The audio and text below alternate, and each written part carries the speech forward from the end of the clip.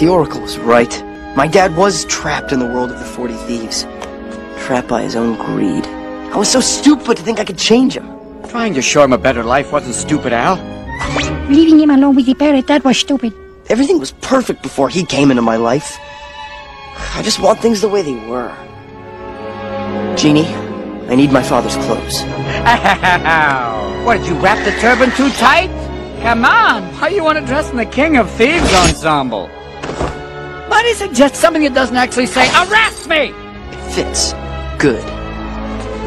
I'm seeing, I'm seeing nothing for your future if you dress like this.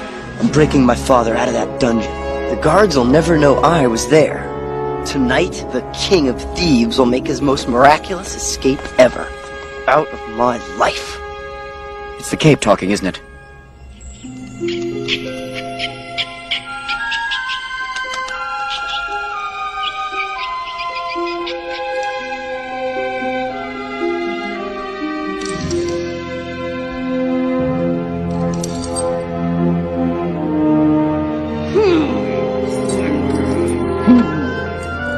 Since he's captured the King of Thieves, there's no living with Razul.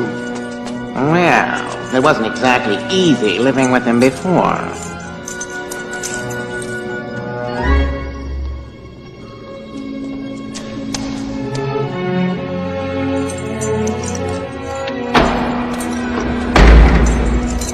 Who? I've come to say goodbye. Why are you... We don't have much time. While the guards chase me, you get out. I can't let you... Forget it. They can't catch me. He even sounds like me.